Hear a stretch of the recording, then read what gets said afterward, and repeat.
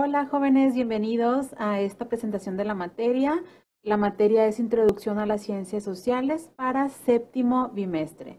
Mi nombre es Gabriela Covelli y seré su docente en este bimestre. Bueno, vamos a entrar de lleno a lo que son los criterios de evaluación.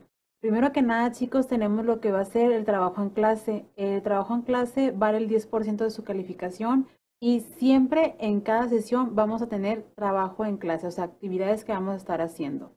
¿Sí? Es importante que a la vez de que tengamos estas actividades estén tomando nota de, los temas que vayamos eh, viendo en clase, ¿correcto? Entonces, esto les va a ayudar para que al final ya del, bimestre tengas eh, como un todo, todos los temas en escrito para poder estudiar más fácilmente para su examen. Así que es como un pequeño tip que les doy.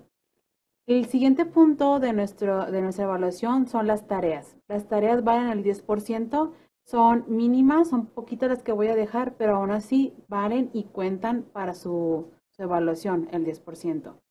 El tercer punto son em, las clases en vivo de eLive. Esto es muy importante que asistan a nuestras clases este, de, de, videoconferencia para que estén al pendiente de todos los temas que vamos a tocar y es importante porque también parte de su es parte de su evaluación, es el 10%. Después, como cuarto punto, tenemos el proyecto final. El proyecto final lo voy a dar a conocer un poquito más adelante, ya sea en semana 5 o 6.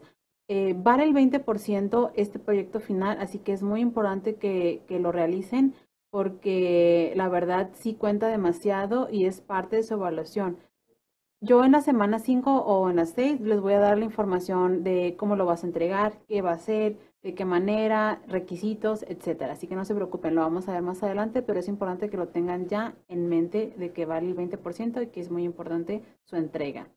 Después, por último, eh, tenemos su examen. El examen de conocimientos es el 50% de su evaluación, así que es importante que no falten a nuestras sesiones porque ahí vamos a estar viendo los temas que van a venir de lleno en el examen.